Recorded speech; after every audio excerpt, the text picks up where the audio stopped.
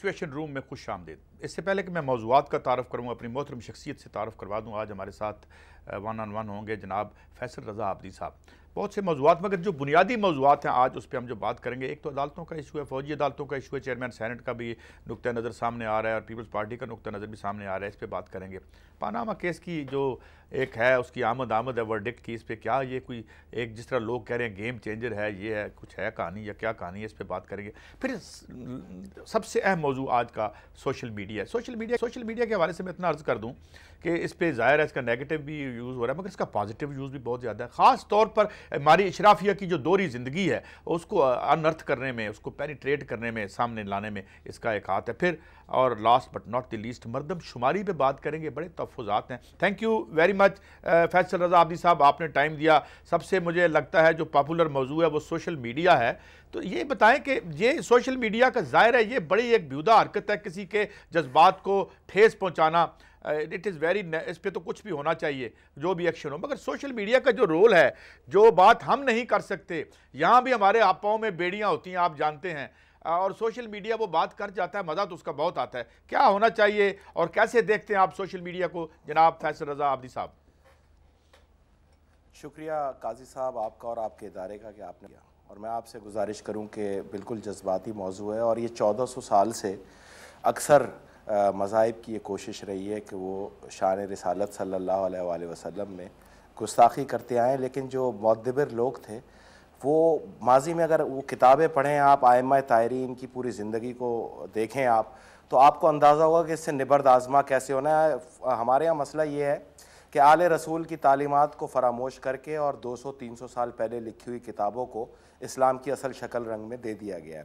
اگر آپ اس میں جائیں گے تو ہمیشہ جب بھی کسی نے یہ توہین کرنے کی کوشش کی ہے تو مدلل دلائل کے ذریعے اس کا مقابلہ کیا جاتا ہے اور اگلے کو قائل کیا جاتا ہے، یہاں تک کہ ہم اتنے پاورفل ہیں دلائل میں اپنے شان رسالت کی کہ کوئی اس کا مقابلہ کر نہیں سکتا۔ تو ہم نے دلائل کے بجائے پابندیوں کے ہٹ کنڈے استعمال کرنے شروع کر دیے اور یہ مائنڈ سیٹ آیا ہے انیس سو چوبیس سے۔ تو میں یہ سمجھتا ہوں کہ اگر دو پیجز سوشل میڈیا کے اوپر احانت کرتے ہوئے پائے گئے۔ لیکن یہ بھی تو دیکھیں کہ ایک لاکھ پیجز جو ہیں وہ شان رسول صلی اللہ علیہ وآلہ وسلم کی شان اقدس شان اقدس کے اندر بنے ہوئے ہیں اور درائل کے ساتھ وہ گفتگو بھی کر رہے ہیں اور اس چیزوں کو رد بھی کر رہے ہیں۔ بیسک مسئلہ جو ہے وہ اشرافیہ کی جو کرپشن ہے، چونکہ میڈیا پہ آپ کے چینل کے علاوہ باقی دو تین چینل اور ہیں، باقی جتنے بھی میڈیا ہے اس کے اوپر جاؤ تو جی قدغن آنا شروع ہو جاتے ہیں کہ آپ نے کے الیکٹرک پہ بات نہیں کرنی، آپ نے عدلیہ پہ بات نہیں کرنی، آپ نے ججز پہ بات نہیں کرنی، چلے نہیں کرتے۔ تو آہستہ آہستہ یہ قدخن جو ہے بڑھتے چلے گئے۔ پیپل زرداری صاحب کے دور کے اندر یہ قدخن میڈیا پہ کبھی بھی نہیں تھے، مکمل آزادی تھی۔ جو فریڈم آف ایکسپریشن کا ایک سب سے بڑی دلیل بھی تھی، لیکن موجودہ دور کے اندر چونکہ یہ صاحب جو ہیں، یہ بادشاہت کے پاس مہمان رہ کے آئے ہیں، معافی لے کے وہیں پہ گئے تھے، تو یہ سب کچھ وہاں بادشاہت سے سیکھ کے آ گئے ہیں۔ یہ بادشاہ بننا چاہتے ہیں۔ ان کے اوپر جو تنقید ہوتی ہے سوشل میڈیا پہ اور اب موجودہ جو فیصلے آنے ہیں، جو ان کی صورتحال ہے، اس میں ایک بڑی تنقید کو فیس کرنا پڑ جائے گا۔ پھر یہاں سے چونکہ فوج عرب بھیجنے کا بھی ایک معاملہ چل رہا ہے، مردم شماری بھی چل رہی ہے، تو اس لیے سوشل میڈیا کو شان رسالت صلی اللہ علیہ وآلہ وسلم کی آڑ کے اندر بند کرنے کی یہ تیاری کی جا رہی ہے، جو قطن غلط ہے۔ اگر آپ دو پیجز پہ فیس بک کو بند کریں گے ٹویٹر کو بند کریں گے واٹس اپ کو بند کریں گے تو آپ ایک لاکھ پیجز کو جو شان رسالت میں چل رہے ہیں، ان کو بند کر کے سب سے بڑی توہین کریں گے۔ تو میں یہ سمجھتا ہوں کہ دلائل پہ جانا چاہیے اور ہمارے پاس تو اتنی ہی میں تو آپ کو بتاؤں گا، میں جب ناسا کا میں نے دورہ کیا اور پندرہ دن وہاں ریسرچ کی، تو میں تو حیران رہ گیا کہ ناسا جو ہے، وہ وجود میں اس لیے آیا ہے کہ شان رسالت صلی اللہ علیہ وآلہ وسلم اور نشانیوں کو رد کیا جا سکے، جو کہ ہو ہی نہیں سکتی، جس کی سب سے بڑی دلیل نائنٹین سکسٹی سیون کے اندر ناسا کا خلائی مشن جو گیا تھا اور چاند کو وہی دیکھنے گیا تھا کہ آیا چاند کے دو ٹکڑے ہوئے یا نہیں ہوئے، اس کے لیے آپ قرآن میں جائیں، سورہ قمر موجود ہے، شان رسالت میں جائیں، تو آپ کو نظر آئے گا کہ سرکار نے دعویٰ کیا تھا، جب ان سے کہا گیا کہ معجزہ دکھاؤ تو سرکار نے کہا چاند کی طرف اشارہ کر کے شک القمر ہوا بشارت ہی اور چاند دو ٹکڑوں میں تقسیم ہو گیا تو ناسا سکسٹی سیون میں وہ مشن بھیج چکا ہے۔ اور پھر نیل آرم اسٹرانگ نے ان حقائق پہ جاتے ہوئے اور اس کی پوری ٹیم نے اسلام قبول کیا تھا، جو حقیقت ہے جس کو آج تک سامنے نہیں لایا جا سکا۔ تو پابندی مسئلہ نہیں ہے۔ ان کے ہاتھ میں پتھر دے کے کہیں کہ ایک طرف تو پورا چاند ایک سیارہ دو ٹکڑے ہو گیا۔ تم یہ پتھر دو ٹکڑے کر کے دکھا دو تو یہ جھوٹے جو ہیں اپنے مقام پہ پہنچ جائیں گے۔ اس کے دلائل سے مقابلہ کریں۔ پابندی جو ہے اس مائنڈ سیٹ کو مضبوط کرے گی جو دنیا کے اندر پھیلایا جا رہا ہے کہ ان کے پاس جواب نہیں ہے، یہ پابندی لگا کے بند کر دیتے ہیں۔ ٹھیک ہے۔ اچھا ایک اور بات چلے اس سے جڑی ہوئی بات کو آگے بڑھاتے ہیں۔ ایک اور آپ دیکھتے ہیں ڈیولپمنٹ شرجیل میمن صاحب کو پکڑا گیا، چھوڑا گیا۔ سوال یہ اٹھا جا رہا ٹھیک ہے، جس نے کوئی غلط کیا، اسے پکڑا جائے، مگر یہاں پہ کہتے ہیں جی سلیکٹیو ہے، امتیازی ہے۔ ابھی آپ پاناما کیس میں جن کے نام ہیں، ان کو تو کوئی نہیں پوچھتا۔ یہ اپوزیشن کا کہنا ہے۔ پھر ادھر آپ دیکھ رہے ہیں، فاروق ستار صاحب والا بھی معاملہ۔ تو کیا ہے کوئی اس طرح کا امتیازی سلوک؟ یا ہمارا یہ غلط ہے تاثر؟ عابدی صاحب۔ دیکھیں نا، ایک آدمی جہاز سے اترا اور اس کو دھکے دے کے لے گئے۔ مطلب اتنی بڑی ڈرامے بازی انہوں نے کیا سمجھا ہوا ہے؟ دو ہزار سترہ ہے یہ۔ پاکستانی قوم سمجھدار ہے۔ دو منٹ بعد امیگریشن آتا امیگریشن کے باہر پکڑ لیتے، گرفتار کر کے لے جاتے۔ اگر حقیقی گرفتاری ہوتی، کیونکہ امیگریشن تو بہت ضروری ہے کہ بندہ خود کرائے وہ ایئرپورٹ کود کے تو نہیں جا سکتا تھا۔ لیکن ہمیں بار بار ایک تصور آتا ہے، ہم دیکھتے ہیں کہ جب اس رولنگ فیملی کا ایشو بنتا ہے، تو سارے ادارے جا کے پارلیمان میں بھی کہہ دیتے ہیں جی ہم کچھ نہیں کر سکتے۔ پبلک اکاؤنٹس کمیٹی میں جا کے سارے کے ہاتھ کھڑے کر دیتے ہیں۔ یہ کیوں؟ پھر اس طرح سے تاثر تو ملتا ہے نا کہ یہ یہ ایک قسم کی امتیازی سلوک ہے۔ اس کی وجہ ہے پینسٹھ سال میں کون سا فیصلہ ہوا ہے قاضی صاحب؟ چیئرمین نیب تو اپنی پوری کوشش کر لیتا ہے اور ہے بھی تھوڑا سنجیدہ اور سمجھدار آدمی۔ اس سے صرف اتنا کہیں کہ اکتیس مارچ کا وہ ریکارڈ لیٹر جو ہے وہ جاری کر دے عدالت کے اندر، جس کے تحت اس نے یہ لکھا تھا۔ نیب نے الیکشن کمیشن کو کہ میاں صاحب جو ہیں وہ P L D two thousand کے ایک سزا یافتہ ہیں، ان کی اکیس سال کی نائلی ہے، تو اس کو الیکشن لڑنے سے روکا جائے۔ قمر صاحب اگر اپنا دامن نکالنا چاہتے ہیں، اس سارے ٹریپ جال سے جس میں جو جو ان کو ان کے گرد گھیرا تنگ کر رہا ہے، تو وہ اس لیٹر کو منظر عام پہ لے آئیں۔ اس کے بعد الیکشن کمیشن یہ بتائے گا کہ اس کے اوپر کس شخصیت نے دباؤ ڈال کے ایک ڈیفالٹر شخص کو الیکشن لڑایا۔ میاں صاحب تو آلریڈی ڈیفالٹر ہیں۔ دوسری بات نیب کے پنجاب کے کیسز تو یہ کبھی بھی نہیں کھلیں گے۔ آپ دیکھیں نا، خواجہ سعد رفیق خواجہ آصف اور مختلف لوگوں کے کیسز جو ہیں وہ آن ورڈز ہیں، لیکن وہ نہیں چلتے۔ تو پاکستان کے اندر تو کوئی کیس ہے ہی نہیں ایسا جس کے اندر کرپشن میں سزا دی ہو، علاوہ ایک کیس کے جس کو P L D two thousand کہتے ہیں جس کو آپ میڈیا والوں کی زبان میں ہدیبیہ پیپر ملز کہا جاتا ہے۔ تو میں یہ سمجھتا ہوں یہ ایک فیصلہ میرے سامنے ہی موجود ہے۔ اور آہستہ آہستہ آپ اس فیصلے پہ آ رہے ہیں۔ میں ان تمام صحافیوں کو کہوں گا آپ ہدیبیہ پیپر مل کیوں کہتے ہیں؟ ہدیبیہ پیپر مل تو ایک کیس ہے۔ یہ اس کیس پہ مشتمل بارہ کیسز پہ مشتمل یہ فیصلہ اس کو P L D two thousand کی کہیے۔ کچھ نہیں ہوتا کریڈٹ آپ لے لیجیے گا میں نہیں لوں گا کیونکہ میں تو آٹھ سال سے یہ دکھا رہا ہوں۔ یہ آپ ہی لے لیجیے گا لیکن حقائق کی طرف آئیں۔ جب میڈیا اس پہ سچ بولنا شروع کرے گا تو آپ کو یقین ہوگا کہ میاں صاحب واقعی سزا یافتہ اور ڈیفالٹر ہیں اور اس کا ڈیفالٹ انہوں نے دو ہزار پندرہ میں کلیئر کیا چودہ پندرہ میں پانچ ارب روپے کا قرضہ واپس کر کے جس کو نیشنل بینک نے لیٹر آف تھینکس کے ساتھ یہ لکھا کہ انیس سالہ ڈسپیوٹ جو ہے ختم ہو گیا اور یہ پیسہ واپس آ گیا اور میں یہ بار بار بتا رہا ہوں کہ آپ لیجر چیک کر لیں نیشنل بینک کا جا کے اس کے اندر پانچ ارب روپے ڈپازٹ ہی نہیں ہوئے۔ تو سب لفاظی باتیں ہیں۔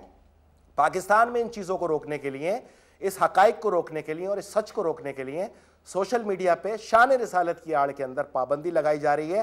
اگر آپ اتنے ہی شان رسالت کے ماننے والے ہیں اور چاہنے والے جو ہوں گے بھی، تو آپ سوشل میڈیا میں فیس بک ٹویٹر اور واٹس اپ بند نہ کریں، آپ انٹرنیٹ بند کریں۔ کیونکہ تین اپلیکیشن اور ڈاؤن لوڈ ہو جائیں گی، وہاں پہ بھی یہ مسئلہ ہوگا۔ آپ گوگل بند کریں، جو کہ اصل گستاخانہ خاکوں کی سب سے بڑی آماج گاہ ہے۔ تو بات یہ ہے کہ حقائق کی طرف لایا جائے۔ اگر آپ نے اور میں یہ کہتا ہوں قاضی صاحب جی جی۔ بے شک آپ بن کریں اس میں میرا فائدہ ہے کیونکہ یہ فیس بک کے جو مجاہد ہیں یہ فرسٹیشن جو ہے اپنی الفاظ میں نکال دیتے ہیں۔ جس دن انہوں نے یہ سوشل میڈیا پہ پابندیاں لگائیں آپ سڑک پہ دیکھیں گے غصہ عوام کا اور اللہ کرے کہ یہ وقت آ جائے کہ عوام فیس بک کی جہاد کے بجائے سڑک پر آ کر ان ڈاکوؤں سے ان چوروں سے جہاد کرے اور ان کو گلی کوچوں میں ان کے گریبان سے پکڑے گی۔ تو اچھا ہے ہاں میں ہو تب بھی ہمارا فائدہ نہ میں ہو تب بھی ہمارا فائدہ۔ اچھا یہ تو ٹھیک ہے سوشل میڈیا پہ تو آپ نے بڑی وضاحت سے بات کی مگر اب آتے ہیں ایک اور بڑا برننگ ایشو ہے اور یہ جاری بھی ہے۔ اب مردم شماری پہ بات کرتے ہیں۔ مردم شماری پہ جو جو بلوچستان والوں نے کہا، وہ آپ کے سامنے ہے کہ جی یہ پشتونوں کا مسئلہ ہے۔ آج کل نیشنلسٹوں کے پاس یہی رہ گئی ہے سیاست کی ایک شکل۔ پھر سندھ میں کہتے ہیں جی تیس فیصد لوگوں کے پاس تو شناختی کارڈ ہی نہیں ہے۔ معاملہ کیا ہے؟ کہا جاتا ہے کہ پنجابی جو الیٹ ہے، پنجابی جو رولنگ کلاس ہے، اس کے ہاتھ سے تھوڑا سا اقتدار رسکے گا کیونکہ کراچی کی آبادی بڑی ہے، دوسری آبادی بڑی ہے این ایف سی ایوارڈ کا معاملہ ہے۔ یہ معاملہ ایسے ہی دیکھتے ہیں آپ، آبدی صاحب۔ شکریہ آپ کے اس موضوع پہ آنے کا اور میں آپ کو بتاؤں، لوگ تو ابھی کہنا شروع ہیں، فیصل آبدی واحد آدمی ہے دو ہزار گیارہ سے مردم شماری جو اس انداز میں ہو رہی ہے، اس کے خلاف ہے۔ میں مردم شماری کے خلاف نہیں ہوں، میں مردم شماری مارچ، اپریل اور مئی دو ہزار سترہ کے خلاف ہوں، یہ دو الگ الگ چیزیں ہیں۔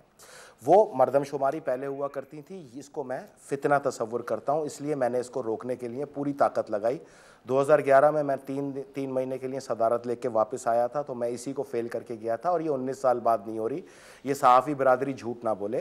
یہ پانچ سال بعد ہو رہی ہے، اس سے پہلے ایک مردم شماری ہو چکی ہے۔ دو ہزار گیارہ بارہ میں اس کو تکمیل ہوئی تھی، دو ہزار تیرہ میں رزلٹ اناؤنس روک دیا گیا تھا۔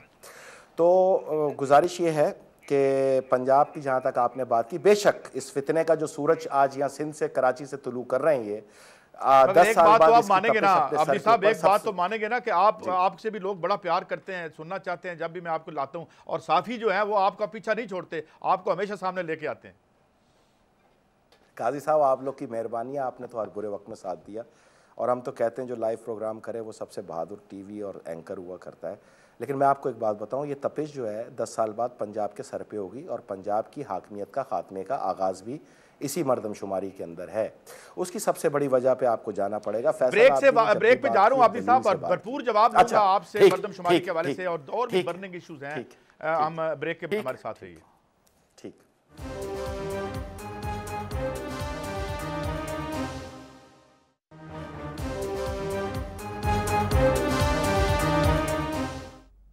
ویلکم بیک اچھا آبدی صاحب یہ فرمائیے کہ ہاں، آج ہم نیشنلسٹوں کو دیکھتے ہیں۔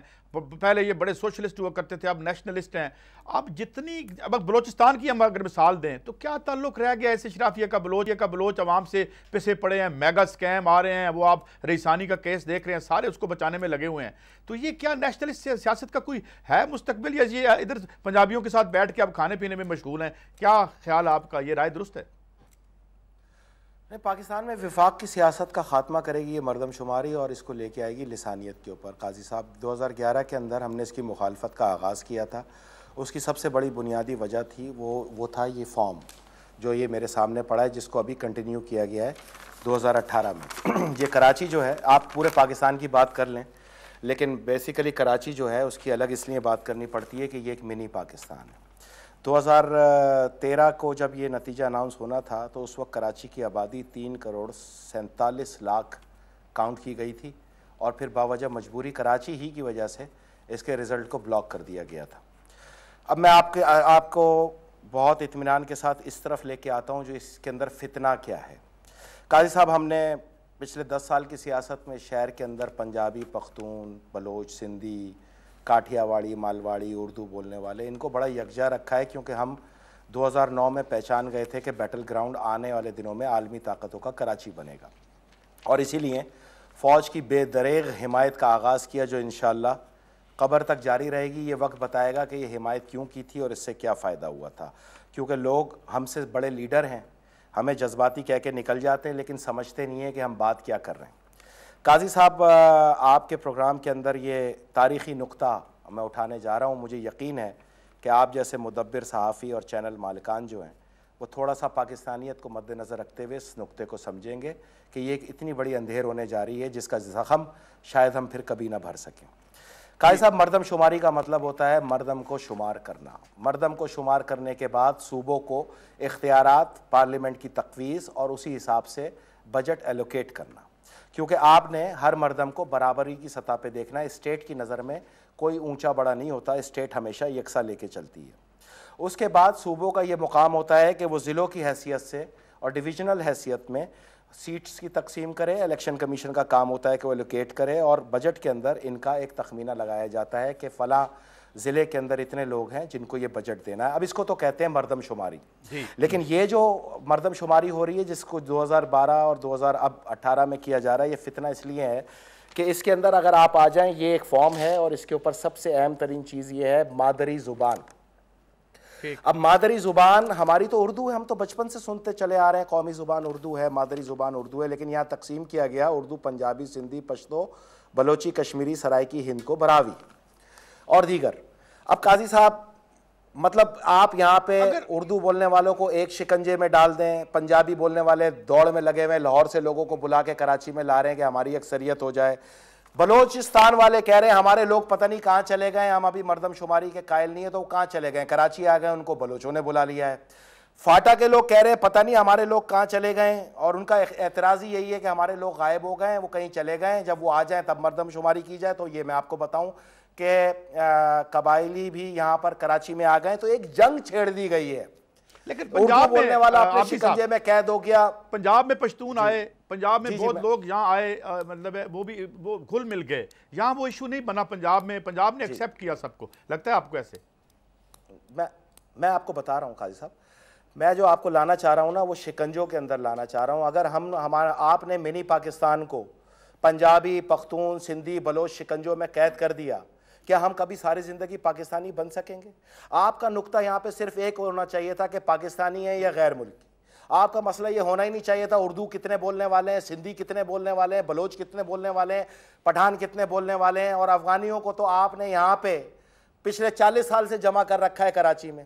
آپ ان کی تعداد مردم شماری میں کبھی بھی نہیں گنتے، اس لیے کراچی والوں کو بجٹ میں سے اپنے حصے کا نصف سے زائد جو ہے ان کو بھی کھلانا پڑ جاتا ہے۔ ان کے لیے کون سا سرکاری بجٹ آیا ہے آج تک اضافی چالیس سال میں؟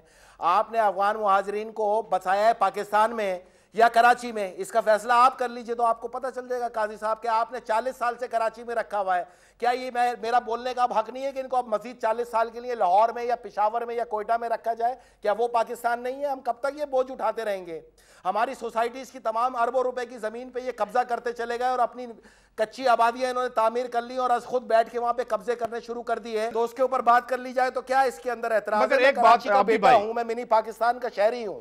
جی بھائی ایک بات میرا یہ کہنا ہے قاضی صاحب۔ جی جی۔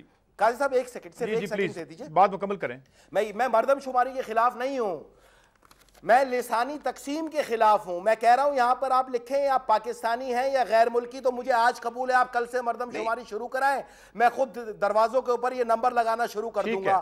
لیکن اگر آپ نے ہمیں پنجابی پٹھان سندھی بلوچ بلوچوں کو بھی تین سطح پہ بانٹ دیا لیکن ایک بات صاحب عابدی صاحب ایک بات مثال کے طور پہ جی۔ ہماری بہت چھوٹ میری جو زبان ہے میں تو اسے پنجابی بھی نہیں کہتا اور وہ بھی کلچر ختم ہو گیا اب میں میں دھنی کا رہنے والا ہوں جی۔ اسی طریقے سے اگر کسی صوبے کے لوگوں کی شناخت رہے ان کے ساتھ اور قومی زبان اردو ہو جائے اور اپنی اپنی زبانیں یہ رکھتے رہے قومی زبان ہم اردو کو کہیں اور اپنی جو ان کی علاقائی زبانیں ہیں وہ جی۔ بولتے رہے اپنے خاندانوں میں اپنے آگے تو اس میں کیا آ رہے اس کا تخمینہ تو الیکشن ہوتا ہے نا قاضی صاحب میں یہ نہیں کہہ رہا میں آپ میرے میرے بات کو جی۔ سمجھنے کی کوشش کریں آپ کراچی میں آ کے تناؤ کو محسوس کریں گے اگر آپ ایک کراچی کا میں اسی چاروں کے بعد بلوچستان سے بلوچوں کو جی بلوچستان سے بلوچوں کو فون کر کے بلایا جا رہا ہے، ہمیں اکثریت دکھانی ہے، ادھر آ جاؤ۔ تو بلوچستان والے کہہ رہے ہیں نا، ہمارے لوگ پتہ نہیں کہاں چلے گئے اسی طرح فاٹا والے کہہ رہے ہیں ہمارے لوگ کہاں چلے گئے یہ لسان، میں لسانیت کی تقسیم کی بات کر رہا ہوں۔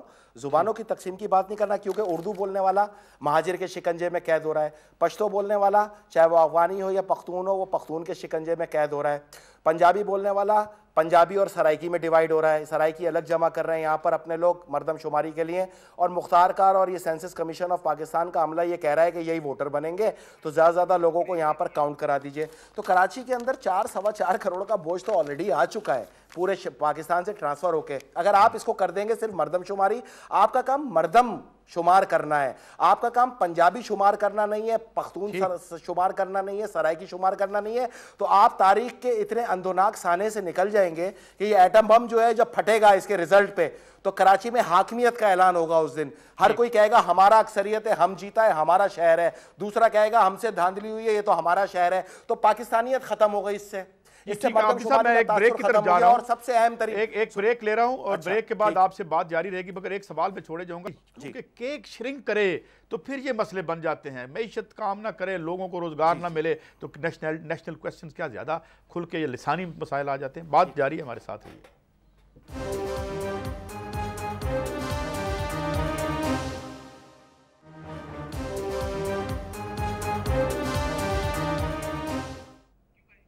ویلکم بیک اچھا عادی صاحب، ایک اور نقطے سے میں اگر اس بحث کو آگے بڑھاؤں، اب ایک اور سیاست جو ہم نے تقریباً ترقی کر دی، مثال کے طور پہ اگر کراچی ہے، تو کراچی میں ستر فیصد لوگ پھنسے ہوئے ہیں، پانچ ہزار پانچ ہزار ایک ہیکٹر میں ہیں۔ ادھر لاہور میں آ کے دیکھ لیں، تو خوفناک طبقاتی تقسیم، بلوچستان میں آپ نوابین دیکھیں، ان کے چیف ٹینس دیکھیں، ان کا رہن سہن دیکھیں۔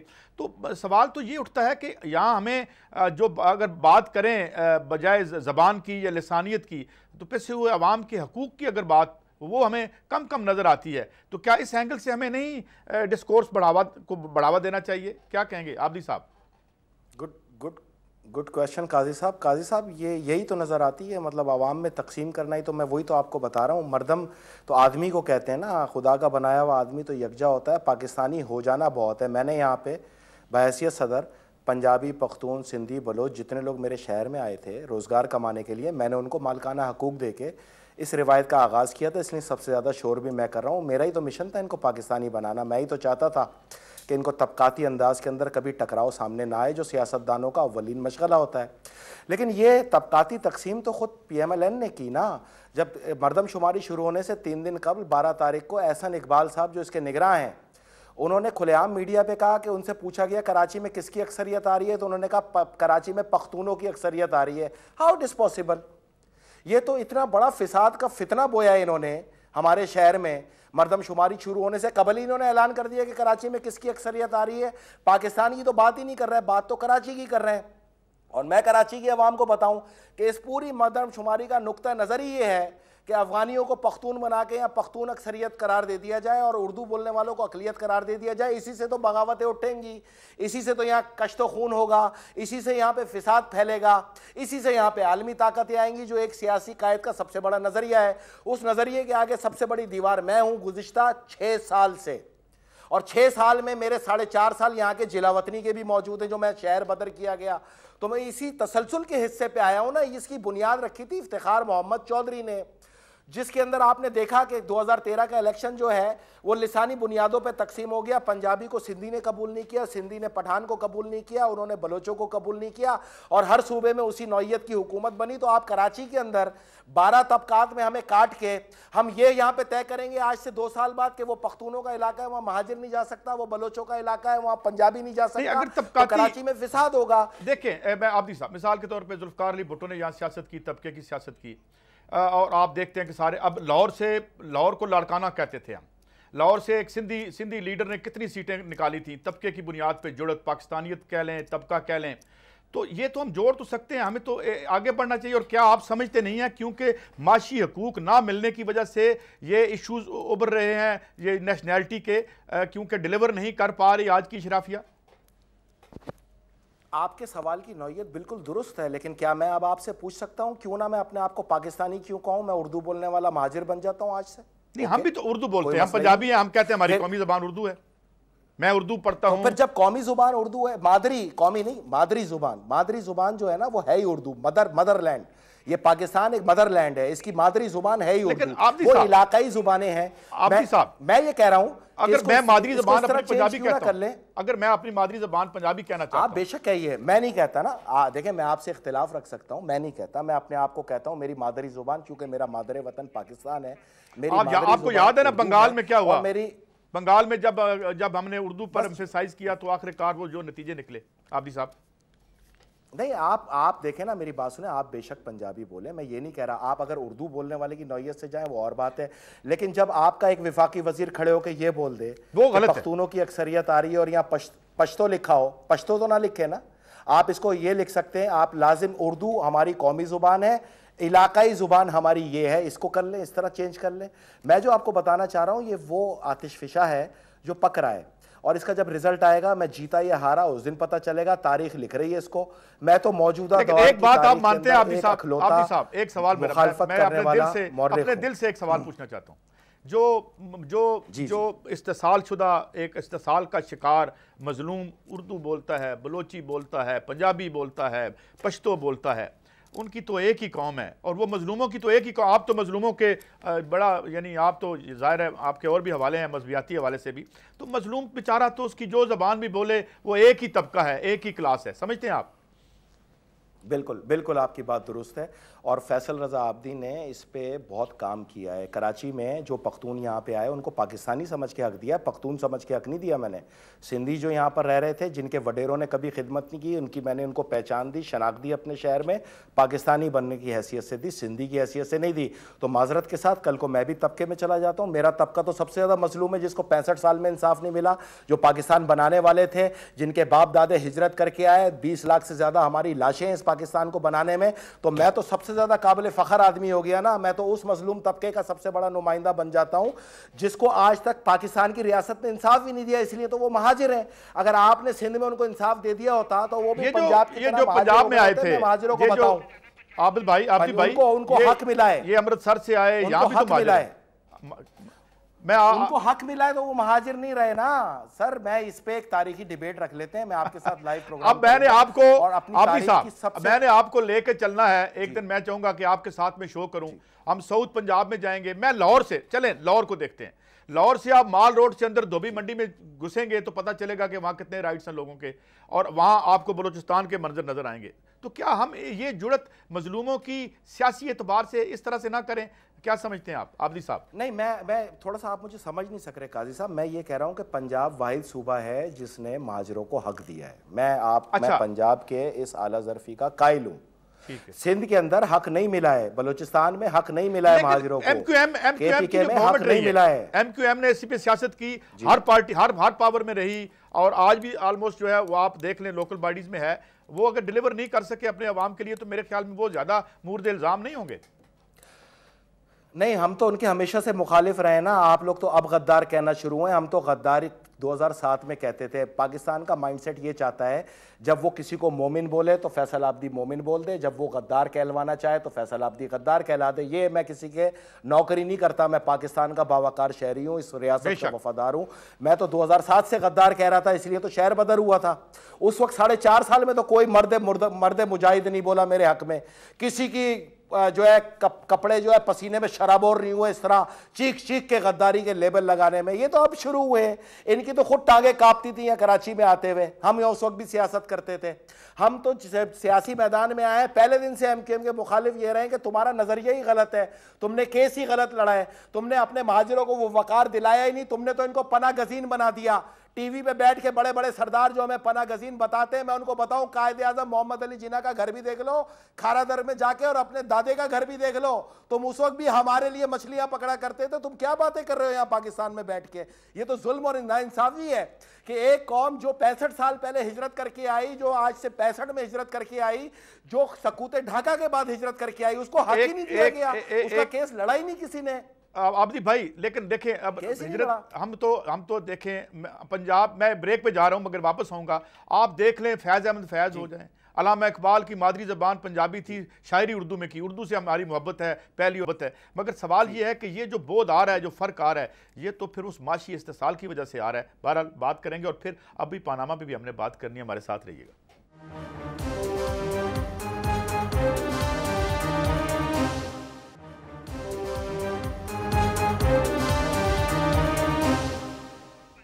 ویلکم بیک آپ دی بھائی مجھے ایک کوٹ یاد آ گیا، بڑا پسند تھا ہم جب، جو، جب انقلابی کبھی ہوا کرتے تھے۔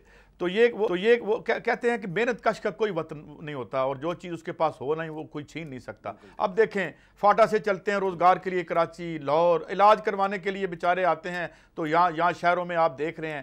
تو ان کا تو کوئی وطن ہی نہیں ہے ان بیچاروں کا۔ یہ کیا لڑیں گے؟ اور پتہ نہیں ان کو کب کب وطن ملے گا اس مظلوم طبقے کو جو اسی فیصد لوگوں پر مشتمل ہے۔ آپ اتفاق کرتے ہیں؟ بالکل آپ کی بات سے اتفاق کرتے ہیں اور اسی چیز کو سوچتے ہوئے تو ہم نے کام کا آغاز کیا تھا۔ آپ کراچی میں آئیے نا کبھی کسی پختون سے پوچھیں کہ اس کو اس کا وطن ملا یا نہیں ملا، کسی بلوچ، سندھی، پنجابی سے پوچھیں ملا نہیں ملا، اور آپ کو یہ بڑی جان کے حیرت ہوگی کہ پاکستان کی تاریخ کی سب سے بڑی ڈیلیوری میں نے ہی دی ہے اور ٹرانسپیرنٹ دی ہے۔ اور ان تمام لوگوں کو شناخت دی اور ان کو اپنا بھائی تصور کیا اور ان کی خدمت کی، کیونکہ جب میں الیکشن لڑ رہا تھا، میں نے ان میں کوئی تعصب نہیں دیکھا۔ اور میں آپ کو بتاؤں کہ مجھے بارش پختونوں نے لائن لگا کے ووٹ کیا۔ کوئی میں نے فرقہ ورانہ تعصب نہیں دیکھا، کوئی لسانی تعصب نہیں دیکھا اور مجھے بہت خوشی ہوئی، جس کے بعد میرے اس خیال کو تقویت ہوئی اور میں نے ان کو کراچی کا باشندہ بنایا اور کہا کہ یہ آپ کا شہر ہے، آج کے بعد آپ کی حفاظت اور خدمت ہماری ذمہ داری as a Karachi head, Karachi کے بیٹے کے میں نے خدمت کی۔ منی پاکستان تصور کرتے ہوئے جب آپ اس کو تقسیم جب آپ کی حکومت اس کو تقسیم کرنے جائے گی سندھی مہاجر بلوچ پٹھان میں تو میں بالکل لڑوں گا میں سامنے کھڑا ہوں گا اور میں لڑا۔ میں نے پوری کوشش کی عوام پاکستان کو سمجھانے کی عوام پاکستان کو سمجھانے کی انہوں نے مجھے جذباتی قرار دیا۔ چلیں ٹھیک ہے اب تاریخ کو فیصلہ کرنے دیں۔ لیکن تاریخ میں ایک اختلافی نوٹ کے ساتھ گزشتہ دس سال سے فیصل آبدی ہر جگہ موجود تھا۔ یہ دس سال کا میں مورخ ہوں۔ تاریخ میرے نام کو اس اختلاف کے ساتھ لکھے گی۔ میرا کام ہے دلائل سے اختلاف کرنا۔ بندوق میں کسی کو اٹھانے نہیں دوں گا نہ میں نے اٹھائی ہے نہ کسی کو اٹھوائی ہے۔ تا وقت کہ ریاست حکم نہ دے کہ اپنی حفاظت کے لیے بندوق اٹھاؤ شروع ہو جاؤ۔ یہ میرا آپ سے وعدہ ہے آپ نے زبان چلاتے ہوئے مجھے ٹی وی میں دیکھا ہوگا اس دن میں نکلوں گا۔ اور یہ جتنے طالبان مائنڈ سیٹ کے لوگ ٹیلی ویژن پہ پہچانے گئے میرا نشانہ یہ لوگ ہوں گے اعلانیہ ہوں گے۔ اچھا آپ بھائی کیونکہ کم ہے تو میں چاہتا ہوں کہ بہت سی چیزوں پہ اور بھی آپ کا یہ پاناما پہ ایک جو ایک سرکس لگا ہوا ہے باہر ٹی وی پہ آپ دیکھتے ہیں یا آپ دیکھتے ہیں کہ عدالت کے جو باہر جو بیانات دیے جاتے ہیں نہیں دیے جانے چاہیے۔ ججوں تابوت اٹھیں گے بیٹھیں گے شیخ رشید صاحب آ جاتے ہیں عمران خان آ جاتے ہیں۔ یہ لوگ آ جاتے ہیں ایک فیصلہ ہے ہونے دیں۔ آپ اسے کیسے دیکھتے ہیں اور کیا یہ طرز عمل درست ہے جو اوپر ایک بلا وجہ ہم نے لوگوں میں حجان پیدا کر رکھا ہے؟ تاریخ میں جو فیصلے فوراں ریکارڈ کر کے اناؤنس کر دیے جائیں وہ فیصلے کہلاتے ہیں جو روک دیے جائیں وہ سیاست کہلاتے ہیں۔ تاریخ میں اگر یہ فیصلہ پینڈنگ میں نہ جائے تو اتنی بڑی فساد کی آگ پھیلے ہی نہ جو پختون پنجابی اور سندھی اور پنجابی مسئلہ نظر آ رہا ہے، جو قائدین یہ کہتے نظر آ رہے ہیں۔ ہمیں تو اس طرح کرتے ہیں، سندھ والوں کے ساتھ، پنجاب والوں کے ساتھ اس طرح کرتے ہیں۔ تو اگر یہ فیصلہ بیس دن پینڈنگ نہیں ہوتا اناؤنس ہو جاتا تو یہ بات بھی نہیں ہوتی۔ آپ کو لگتا ہے کہ یہ یہ جس طریقے سے اپوزیشن اس کو پوٹرے کر رہی ہے پی ٹی آئی پوٹرے کر رہی ہے کہ بہت بڑا ایک کوئی بدلاؤ، پریورتن تبدیلی آنے والی ہے، ایسا لگتا ہے آپ کو یا ابھی اسی تنخواہ پہ کام چلے گا؟ نہیں جی بالکل کوئی تبدیلی نہیں آنے والی، کوئی فیصلہ نہیں ہونے والا، اور اگر فیصلہ ہونے والا ہے تو شنگائی الیکٹرک تو ہے ہی جالی ابراج کیپٹل نے اس کو اٹھارہ ہزار کروڑ روپے میں کمپنی بیچ دی، وہ بھی جالی تو اس کے اوپر تو کوئی بات نہیں کر رہا۔ چھ ارب روپے پہ ہم لگے ہوئے ہیں اٹھارہ ہزار کروڑ ایک سو اسی ارب روپے۔ اس پہ کوئی گفتگو ہی نہیں ہو رہی۔ اس میں کیسز ہیں عدالت میں Sherwani enterprises versus K Electric unions versus K Electric I have to leave it there. بہت سی باتیں تشنہ رہ گی اچھا میں آپ سے جاتے ہوئے آخری بات کرنا چاہتا ہوں۔ آخری بات آخری بات۔ جناب میں میں مہاجر شناخت کو ختم کرنے میں ایک ریسرچ دینا چاہتا ہوں جو ٹیلی ویژن یہ ریسرچ لینا چاہے لے لیں۔ آپ مہاجر شخص کو ختم نہ کریں اس کی شناخت کو ختم کر کے پاکستانی بنائیں۔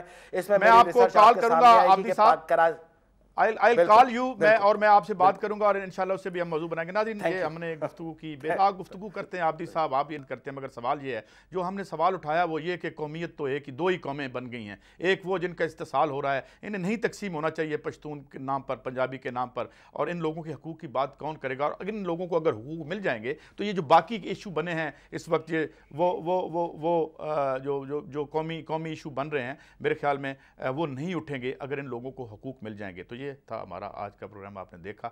ہم نے گفتگو غلط صحیح کا فیصلہ آپ کریں گے، اجازت دیجیے اور دیکھتے رہیے چینل ٹوئنٹی فور۔ اللہ حافظ۔